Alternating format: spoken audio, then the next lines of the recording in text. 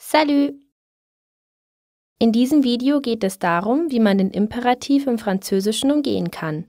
Das heißt, welche anderen Redemittel man statt des Imperativs verwenden kann. Aber was bezeichnet man als Imperativ und wann gebraucht man den Imperativ? Die Formen des Imperativs kennst du bestimmt aus dem Schulalltag. Sophie, regarde l'heure. Tu es en retard. Sophie, schau auf die Uhr. Du bist zu spät. Assieds-toi. Setz dich hin. Les autres, taisez-vous et écrivez. Die anderen, seid still und schreibt. Et après, parlons de la Révolution française.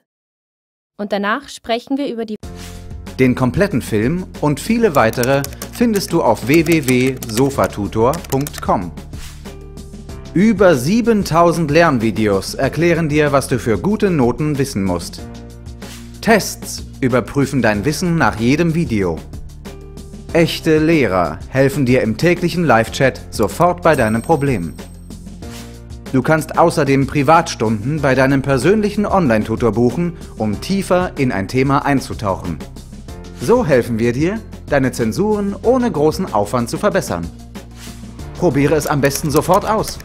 Auf www.sofatutor.com